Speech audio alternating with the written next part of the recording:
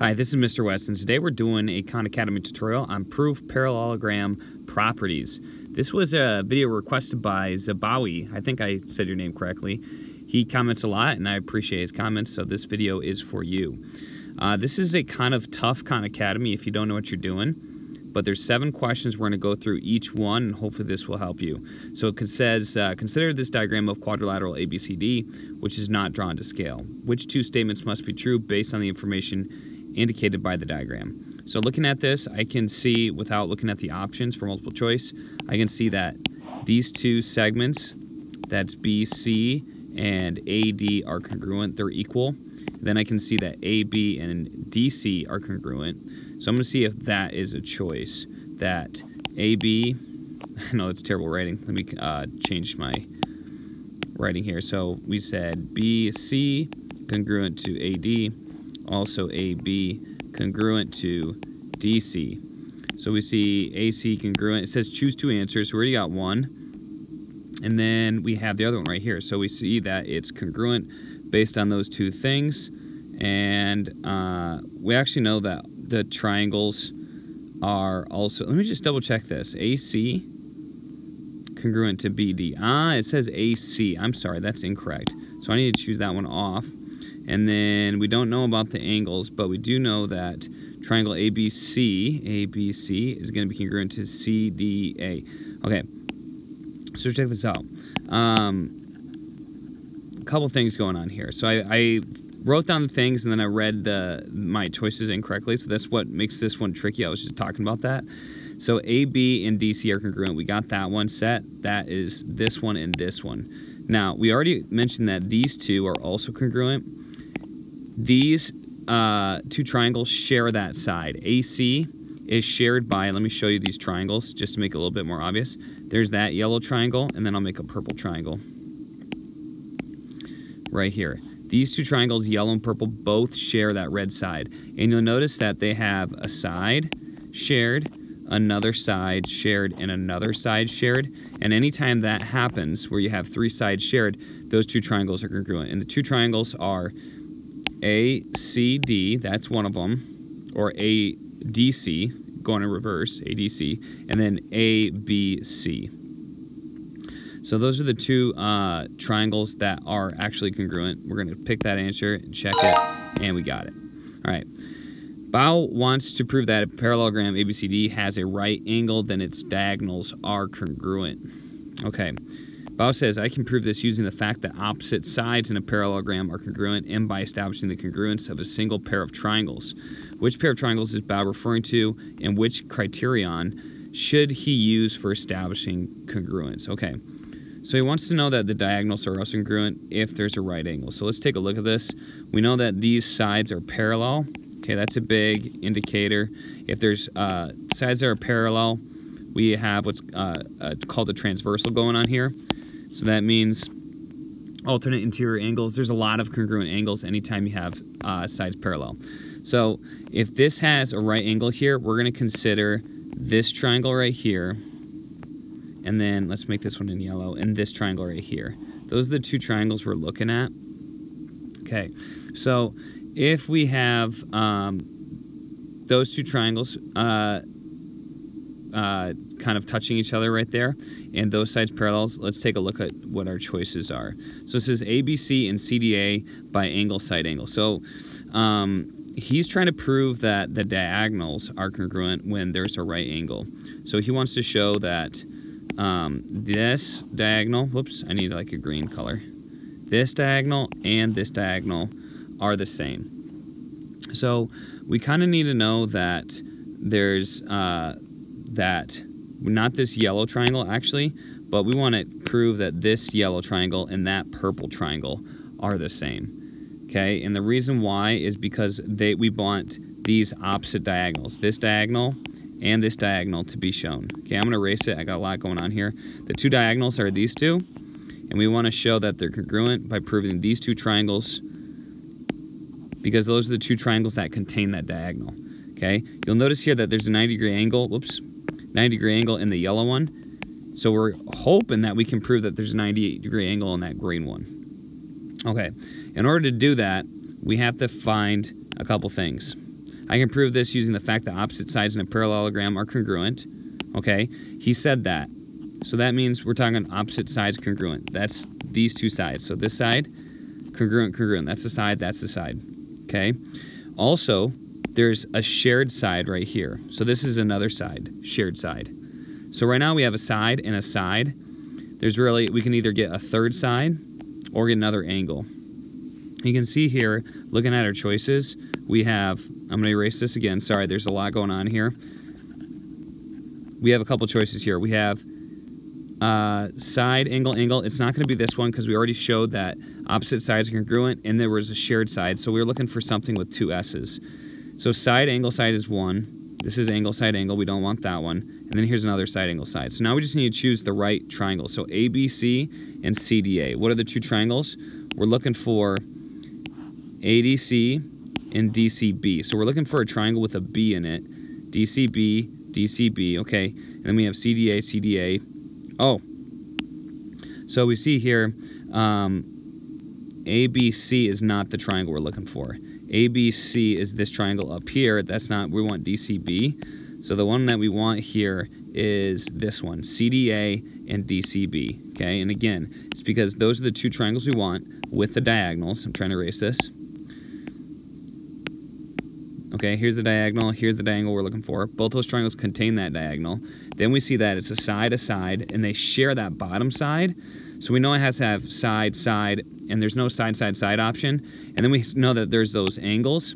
So I guess the assumption is we're to get that last angle to make it side angle, side, side angle, side, those two triangles, okay? Very complex, a lot going on. If you need like a little bit of help with this, make sure to check out some of my uh, triangle congruence videos. I have tons of those in my geometry section. Okay, Branson wants to prove that the diagonals in a rectangle are congruent.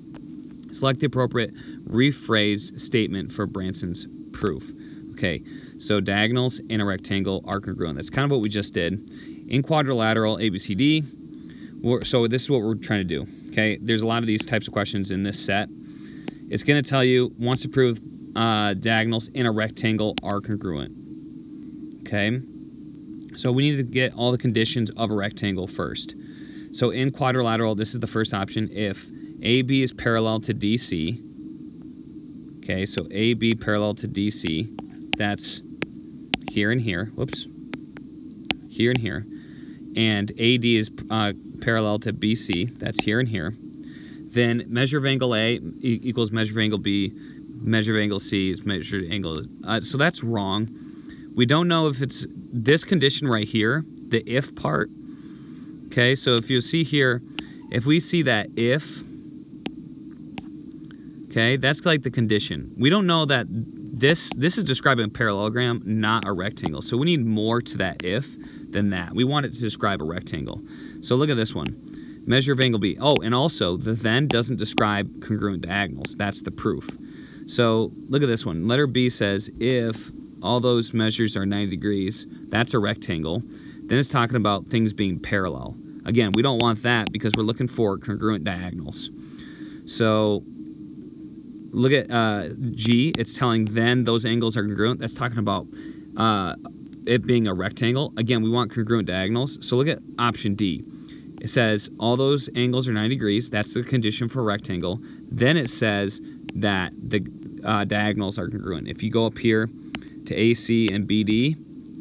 AC and BD are the diagonals. So it is option D. We're just going based on what it's asking in the proof. The proof is if it's a rectangle, then diagonals are congruent. So we're just trying to match it up with the uh, different um, symbols.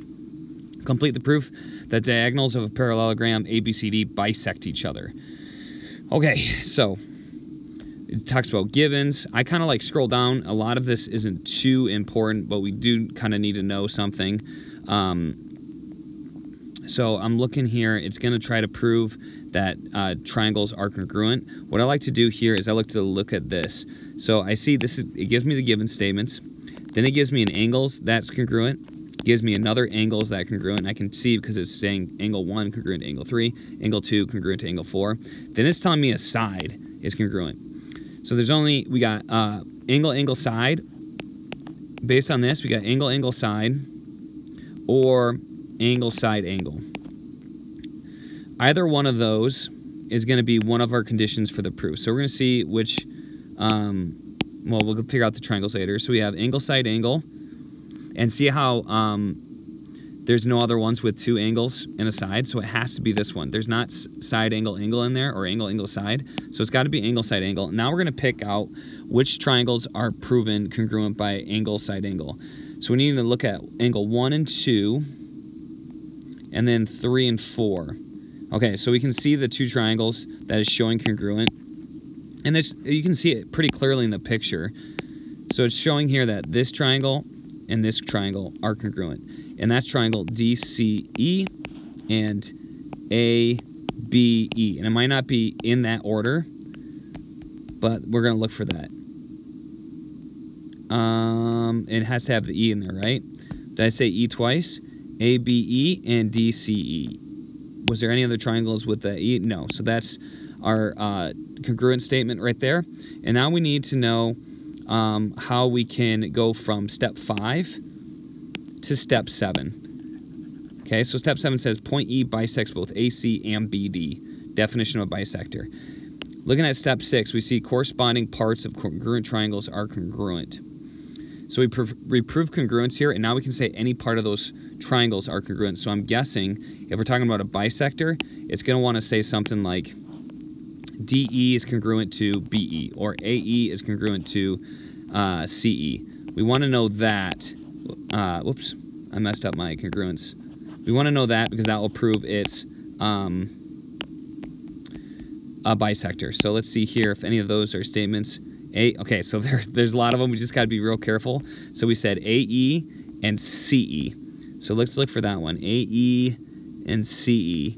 That one is only written one time. It's in the middle. AE equals CE. BE equals DE. That's the other one. We want those segments to be equal. That's the definition of bisector. And we got next question. Three more. I told you this is long. Consider the diagram of a quadrilateral ABCD which is not drawn to scale. Which two statements must be true based on the information indicated by the diagram? Okay, so we got a couple things here. One, this time is we have congruent sides right there. We know those sides are congruent, and then we have parallel sides. So, um, which statements must be true based on the information in the diagram? We know it's a parallelogram because it's got opposite sides parallel. Okay, done. We know that. Now we need to know if it's got anything else. So if it's got consecutive sides congruent, okay, so consecutive sides congruent, we know if it's a parallelogram, opposite sides are congruent. So if this side and this side are congruent, and well, timeout. If it's a parallelogram, we know this side and this side are going to be congruent. Okay, so those new sides, let me change the colors here. If we know it's a parallelogram, those two sides are congruent. And this is just me looking at the different parallel sides and this side and this side. Okay, but since we know those sides are congruent and we know that these sides are also the same, these two first sides, we know that all the sides are congruent. So that means it's a rhombus. We don't know if it's a square because we don't know the measure of the angle, but we do know it's a rhombus because all the sides are equal. Congruent, same thing. Let's move on. Craig wants to prove that if quadrilateral ABCD has diagonals that bisect each other, then it is a parallelogram. Okay, so if it has diagonals that bisect each other, then it is a parallelogram. I can prove that AB is parallel to CD by establishing the congruence of single pair of triangles. Okay, so kind of what we had before. Which pair of triangles is Craig trying to refer to, and which criteria, criterion should he use for establishing congruence? Okay, we had this problem earlier. The talk, talking about the bisecting angles, we know it's these two right here. And those are the, the triangles that contain those given sides. Okay, you wouldn't want like I mean, I guess you could use these ones, but I don't think it's going to give you as uh, that as an option. But we're going to be looking at this right here and this one right here. So A, B, and D, E, C. Okay, so let me go ahead and look for A, B, E, C, D, E. Okay, oh, we probably should establish which ones.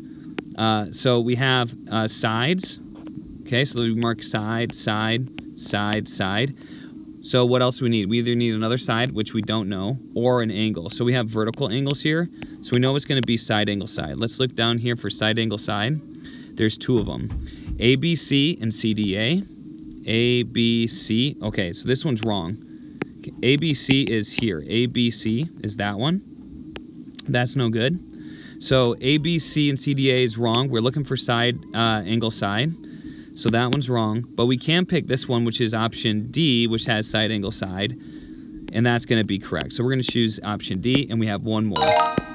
Okay, final one. Vera wants to prove that any rectangle is also a parallelogram. Any rectangle, okay? Select the proof. So again, if it says any rectangle is also parallelogram, we need to establish first that we have a rectangle. So that means all angles are equal. I see that written here. I see that written here for the if. Okay, so if it's a rectangle.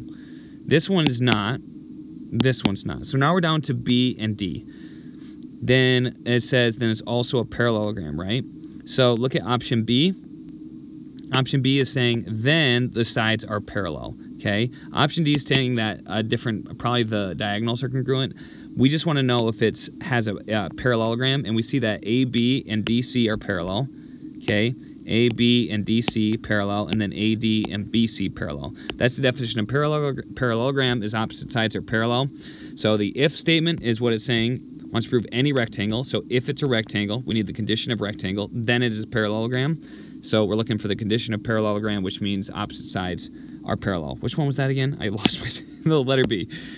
And we're done. Okay, so we got it. Um, hope this video was helpful. It's definitely a tougher concept. Let me know in the comments if you need more help on this. Check out some of my other videos if this was too fast. Thanks for commenting again. Appreciate it. Request your own video anytime. Uh, if you're watching this for the first time, and I look forward to seeing you next time right here on West Explains Best.